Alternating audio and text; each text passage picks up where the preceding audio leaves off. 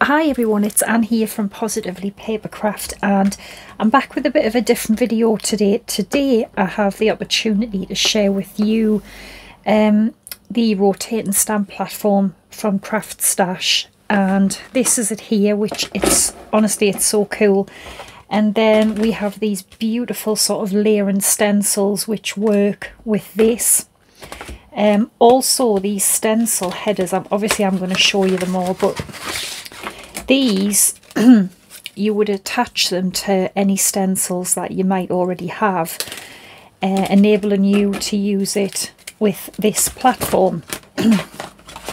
so we're going to do that and then I've got some really sweet little stamps as well that are perfect for the rotating platform. Um, this is the kind of thing that I'll just quickly show you them what I was playing around with. Um, some stars. So we're going to make some stuff. Now, the platform, this lifts off completely. It's got all your measurements on there. You also get two magnets with it. Uh, this is magnetic, so you need to pull this quite firmly and it's very strong and it just rotates round for if you want to, you know, whatever you're going to stamp. So if you're doing like making a wreath or on a card or whatever, you don't really need these. I think these are more if you're going to use stencils actually. So yeah, let's do a stencil first then. We'll do, I'll show you how you would use this. So you get all the stencils to make that beautiful design. Now, as you can see here, it has this along the top, which fits in to the platform. So there's no moving around, it's perfect, you know exactly where it is. And then obviously you would come along with your next piece. Again, it all slots in. So there's no guesswork, you know exactly where you're inking and stamp um, stenciling and so on. So grab some card. Alright, so I've just got a piece of um, 6 by 6 card this is the Craft Stash um, super smooth. It is super smooth as well. It's really nice. 300, is it? 300 GSM, yeah. So you would, I will start off with this piece of the stencil, which would be the base sort of layer of the flower. So just pop that on there and then you can sort of, you can still see your card underneath. So you're going to know where you, you want it. Now, I want... I want to put the butterflies on as well, so I need to be mindful of where they're going to go. Just check that it's not going off the card. So I think I better move it down. Up, I mean. Move it up a little bit. And there is measurements all along as well, up and down, so it's really good for stuff like this. And this is when you can use your magnets to keep keep it in place. So I think that should be good actually. About there. And I can put the hold them down on there. So just a case of picking the colour ink you're going to use what ink you choose I'm going to go for three different shades, Spun Sugar, Picked Raspberry, Kitsch Flamingo, which are all Distress Oxides. So I'm going to start with the lightest, which is Spun Sugar.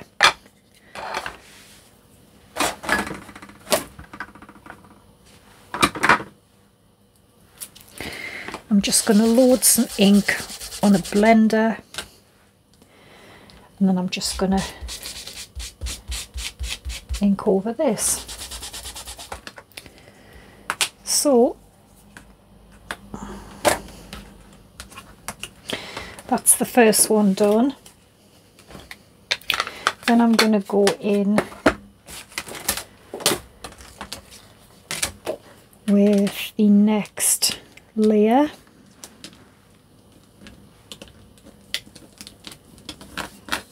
As you can see, that's all ready to ink. So I've kept one underneath the card and I've got one on the top so the stencil doesn't move.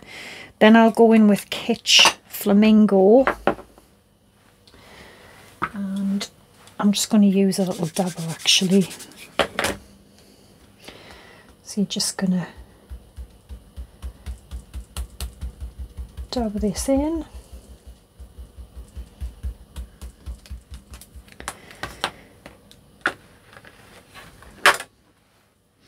Then I'm going to go in. Is that the right way? I hope I'm not using them the wrong way. We're going to. Yes. Go in with the picked raspberry, which is darker.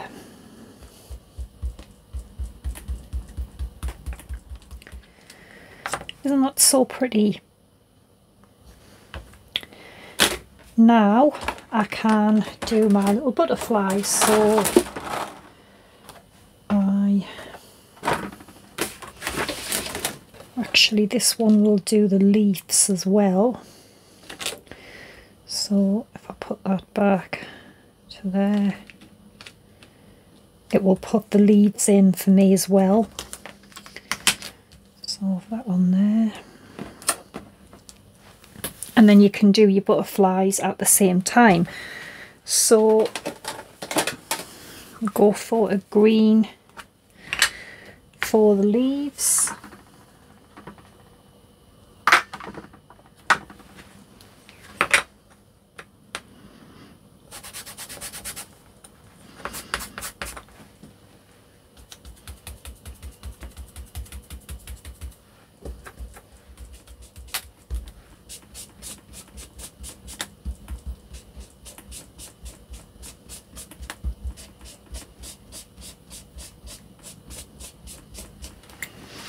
There we go. Can remove that. So we've got our lovely leaves and then we've got the last one which will do our wrong way around. No?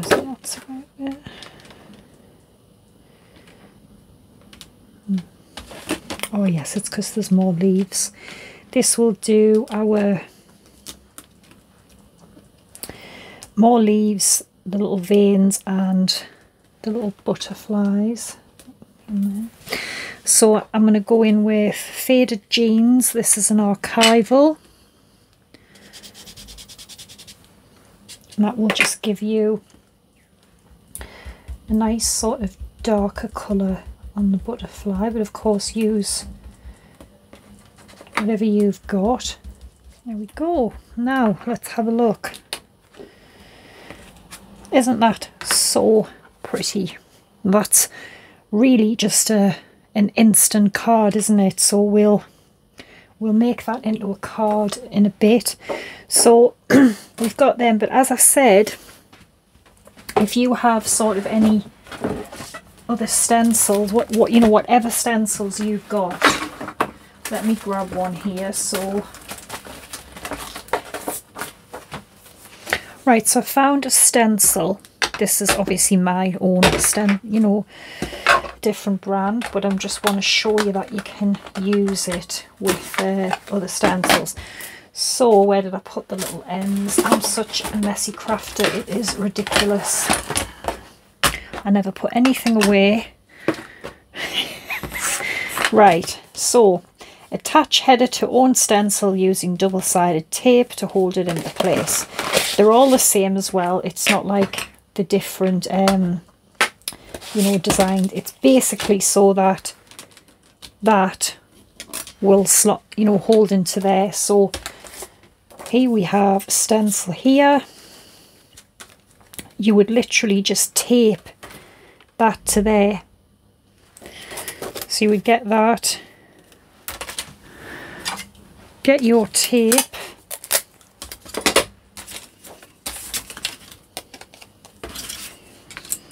and just tape. Obviously, bear in mind you don't want to be taping over your little doodahs because then you're not going to be able to use it. So you would just tape it down and then it just basically allows you to use whatever stencil you have. Now like you know layering ones which I don't really think I have any actually other than the one that I have with this beautiful bouquet and butterflies one.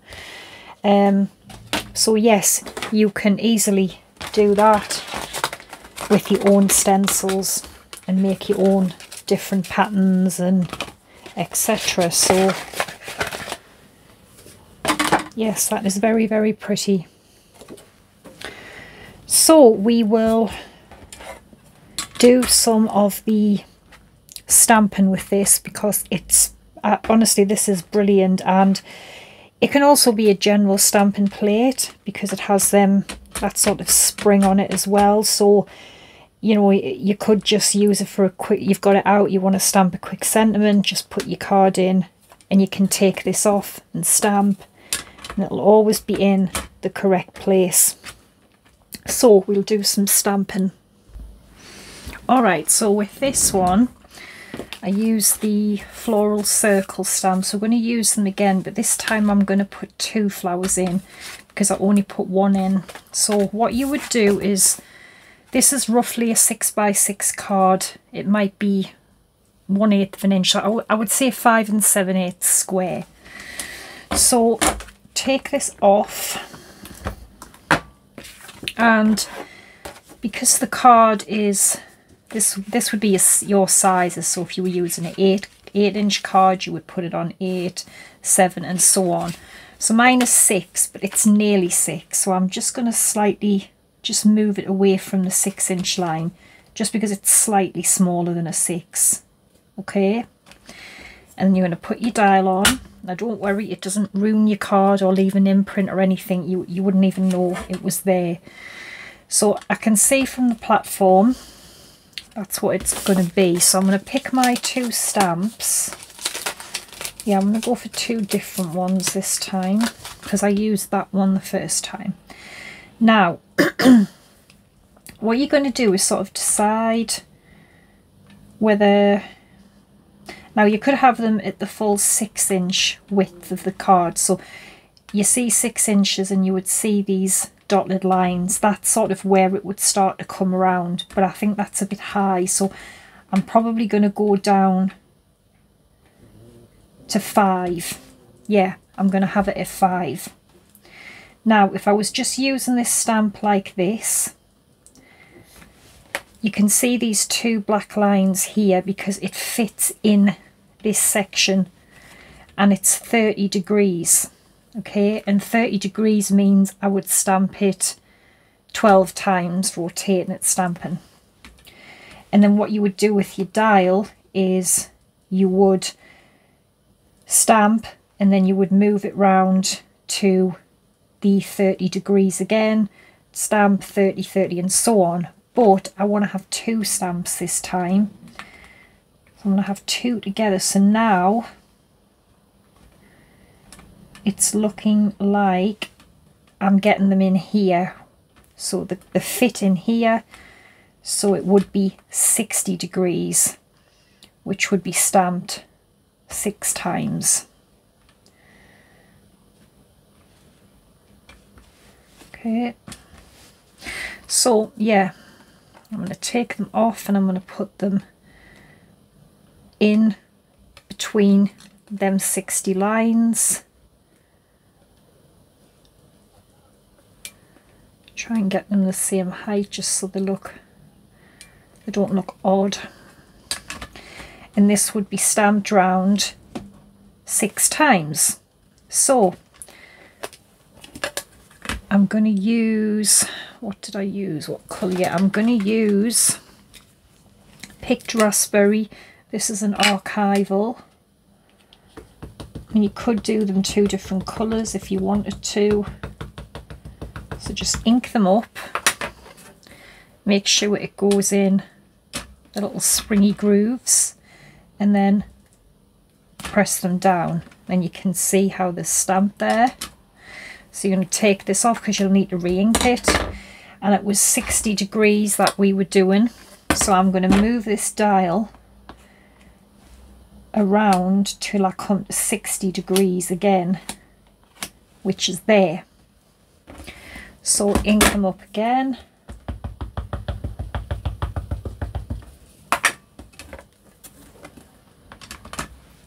You can see there, it does sort of, so it does all the work for you really. So then again, I'm going to keep going round till I get to 60 again. Oh, just realised that didn't stand. It's okay, I'm just showing you how you would do it.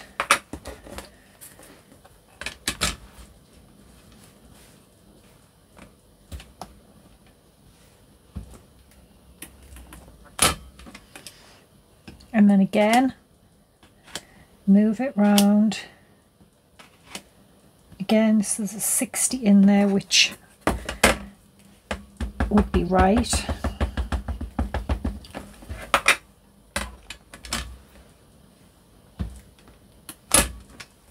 And just keep doing this, move again to 60.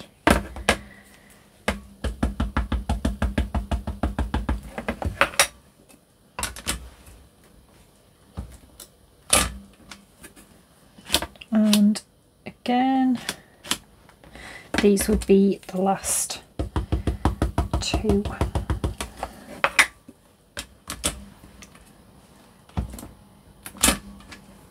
There we go. Now what else you could do with these stamps is I'm going to take it back to the beginning, which is the arrow, okay? And then, for example, these stamps come with the bit that would colour them in. So what, what you would do here is if you wanted to have the stamps a colour, is, wrong stamp, this one and this one. So because it's all clear, easy for you to see, so you would take the pieces that colour it in and it's just a case of lining it up with the stamp. Might take a couple of spins around but you will find it. I hope this is the right one yeah. So just there we go. So I know that that would fit there. And then for this one again you would have to keep spinning it round till I find the right way which I think is there. Yes. There we go So pop this back on, take these two off actually. So pop this on, pick them up and now you can ink in your colours. Now what am I going to use?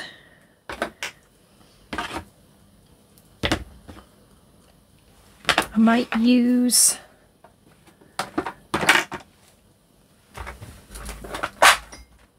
a bit of this Kitsch Flamingo because it's a bit lighter.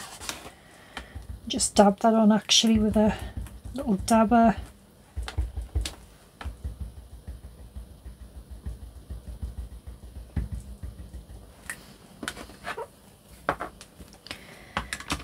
Okay, and you can also see as well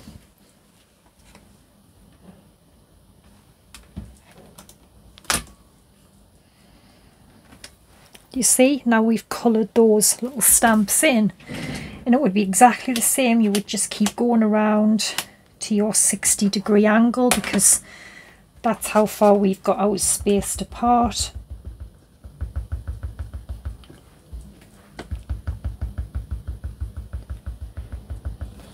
you would just keep going around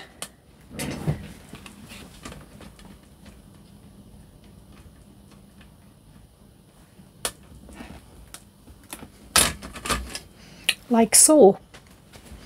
So you can have have all of your you know little flowers sort of coloured in.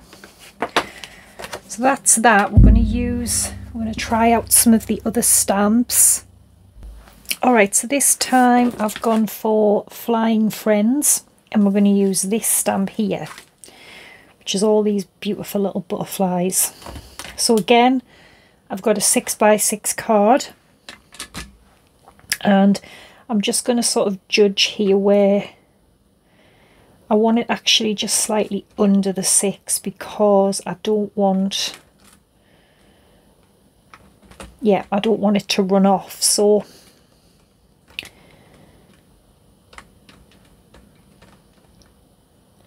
I'm going to put it in about there which I'm going to say 60 degrees but I want it pretty low down. Just so I want it under the 6 which is across here.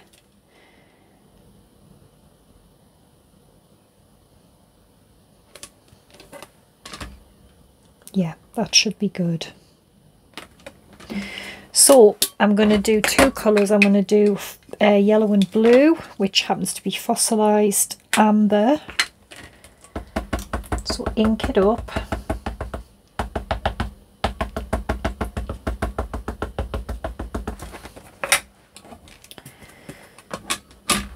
Right, I'm going to stamp, and again I've got that on zero.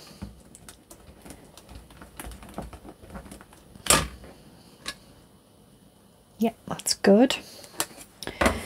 Then I'm going to turn it to 60 because I was using 60. So 60 and this time I'm going to give it a little wipe and I'm going to stamp it with Mermaid Lagoon.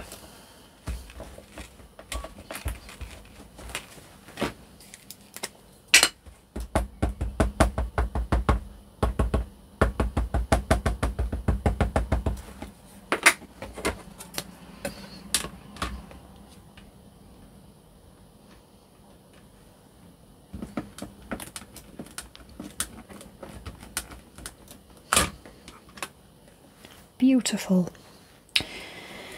So I'm going to rotate. I always rotate it before I ink it up because I'm telling you this because I haven't and then I've just, you know, moved it off, inked it and I've done it again. So I always take it off, then I rotate it again to 60. Then I put the fresh ink on.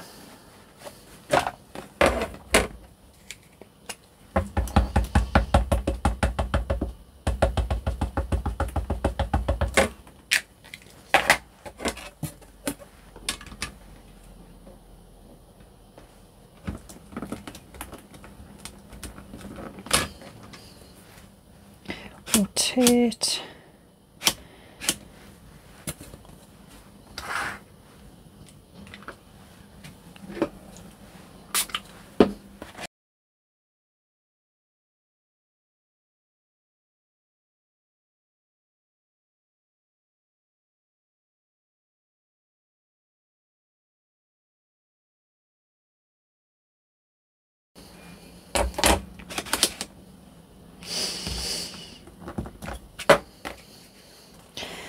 Isn't that beautiful? That is absolutely gorgeous. Again, I'm gonna, we will make it into a card. I might put a nice sort of sentiment in the middle of that. So that is that. And then another thing you can do, just bear with, right, so another thing you can do is I've got a, again, this is just a a 6 by 6 card. So say you wanted something fancy for the inside of your card. So what you would do is you would take this up to that little sort of triangle notch there and you would just put it up like that and you can use your your magnets if you want to um let's say mm, yeah i'm going to try these beautiful little hearts so what you can do is just take the stamp and then say, just place it somewhere like that, pop the top on, pick your stamp up. So have a pink, pick some ink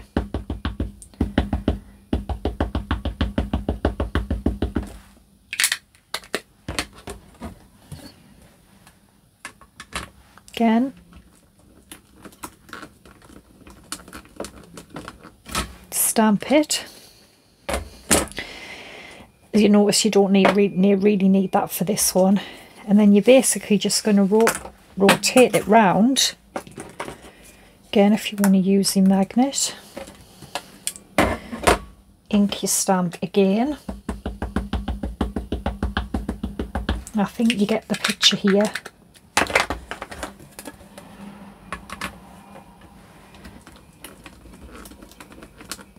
they'll all be level. They'll all be in the correct place. Because sometimes you know we we don't always get them right and sometimes you think oh that just spoils it but you don't have to worry about that with this.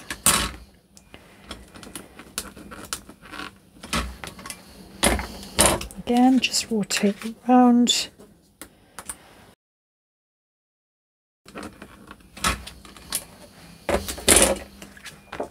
you've got a really fancy sort of inside for, you know, a card. So, yes, this is brilliant. Absolutely love this.